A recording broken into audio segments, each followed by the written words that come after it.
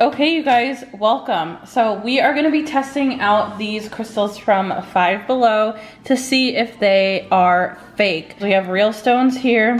We have the suspected fake stones here. I'm gonna show you everything. We're gonna test them with fire, see if they melt because I believe that they are plastic. So let's just jump right in. Let's get on into it. So first, let's look at the real rose quartz and fake rose quartz, what I think is fake rose quartz at least. So this is the rose quartz bracelet you get from Five Below. You can see it does have some white inclusions in it, which visually makes it look real. So very similar to the real rose quartz, this one has white inclusions as well, which would make you think that it's real. However, there's just something about it that feels plastic. It's not very cold to the touch where this is ice cold. And I have said in other previous videos, hold crystals to your cheek. If they feel ice cold, they're probably real. If they just feel cold, not ice cold, they're probably glass or plastic. So I know a lot of people say that that isn't a thing. It's a thing.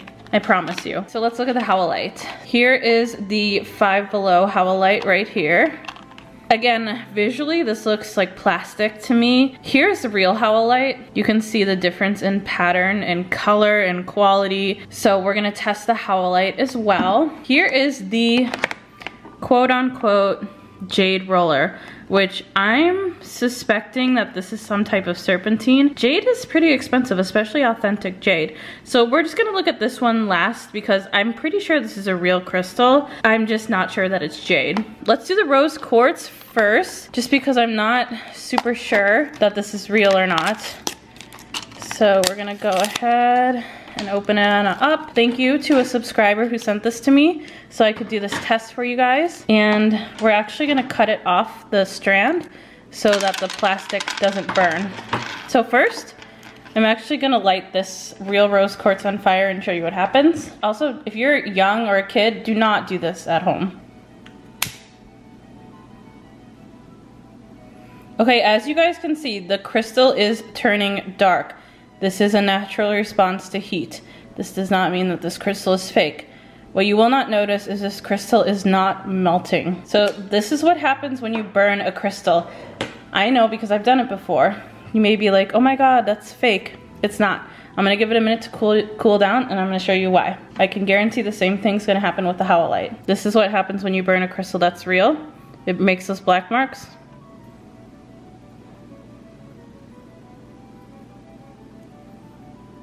Real crystals don't burn. You can wipe the black completely off.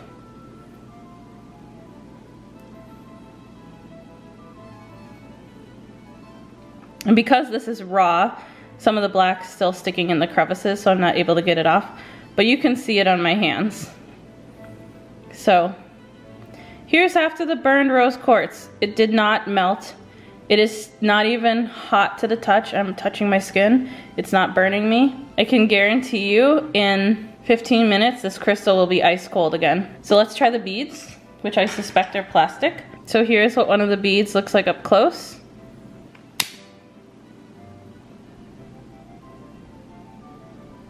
So we are testing to see if this bead melts.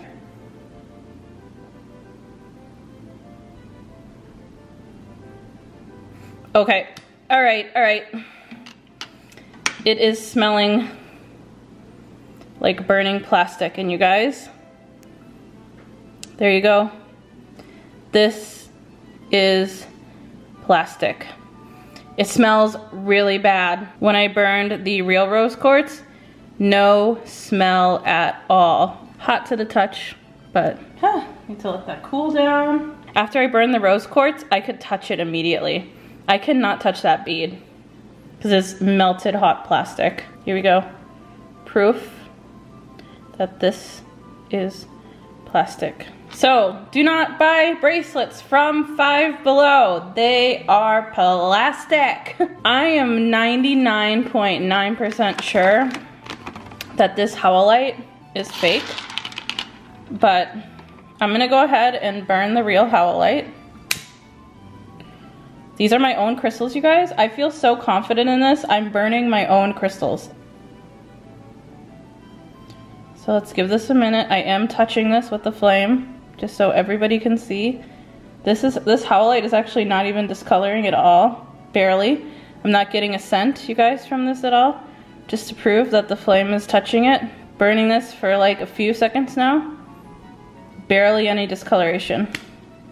So you can see their tip.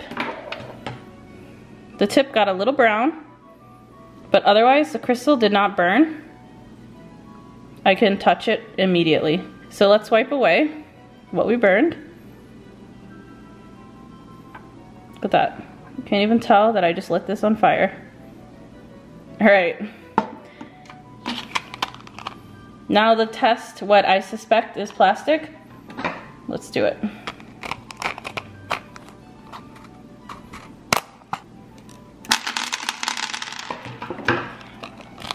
So just so you guys know, these are 3.25 for plastic. This is why people charge more money for real crystals. All right, you guys, here's the Howlite bead. Let's light this baby on fire.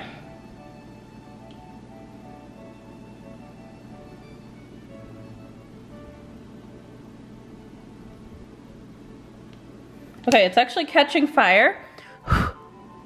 Again, awful smell. This smells awful. I literally burnt this for less than half the time of the other one. So there you can see, completely melted.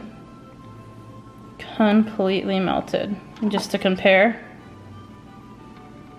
All right, let's test the face roller. I'm pretty sure that this is a real stone, you guys. So let's go ahead and open it on up. There is the face roller. Now I don't really have serpentine to test this up against, a raw piece of serpentine. So we're just gonna burn it and see what happens. I'm pretty sure this is a real crystal. It feels like a real crystal. Here's what it looks like, but I'm pretty sure it's just serpentine, not jade. Slide her on up.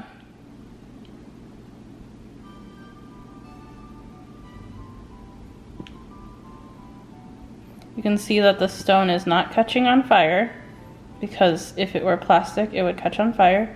I'm not smelling anything at all. No awful scents. Sorry, this is going out of focus. Hold on. Okay, we're back in focus. Let's light this baby up again. I'm not smelling anything, you guys. The stone is not changing color.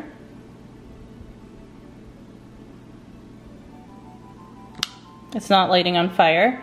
So you can see it did get a little bit black, but that happened with the rose quartz too. So that does happen when you burn stones. Cool to the touch.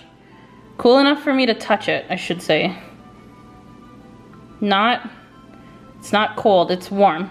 I can obviously touch my skin and I'm not dying of burning because this is a real stone.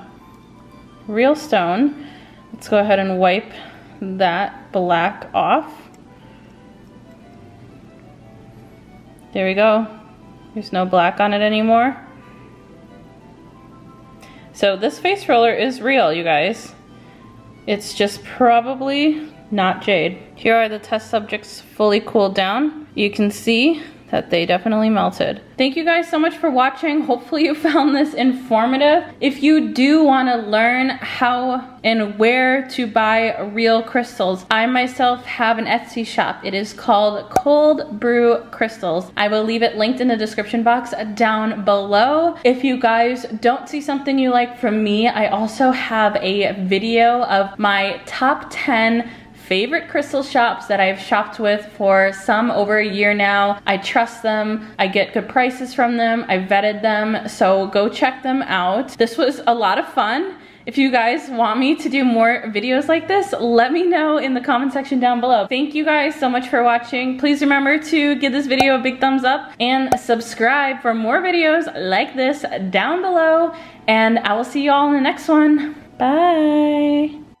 Before I go, a special thank you to all of my patrons. You keep this channel alive and running. If you're interested in joining my Patreon, I will leave a link in the description box down below. This is a great way to show support to the channel, or if you're looking for additional business advice, I offer this as well. So I look forward to seeing you on my Patreon.